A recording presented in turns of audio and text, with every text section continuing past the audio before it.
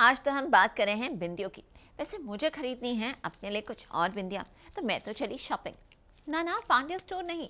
अब पांड्या स्टोर की कहानी से तो होती है एंटरटेनमेंट की शॉपिंग तो चलिए फिर पता कर कर आते हैं किस हाल में हैं आज नताशा और धवल। लेकर चलते हैं आपको सीधा पांड्या स्टोर के सेट पर।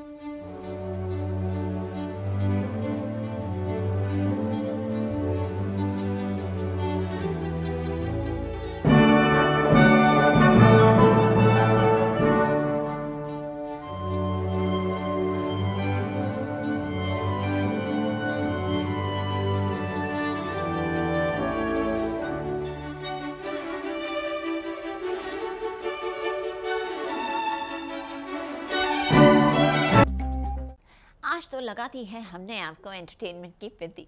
तो बस अगर आपको ये वीडियो पसंद आया है तो इसे लाइक करें कमेंट देके अपनी राय ज़रूर दें। और ऐसे ही एक्सक्लूसिव कंटेंट के लिए हमारे चैनल को सब्सक्राइब ज़रूर करें। अगर आप ये वीडियो फेसबुक पर देख रहे हैं तो हमारे फेसबुक पेज को फॉलो ज़रूर करें। अब देखिए, नाम तो आप सब जानते ही हैं। सास, बहू और बेटियाँ।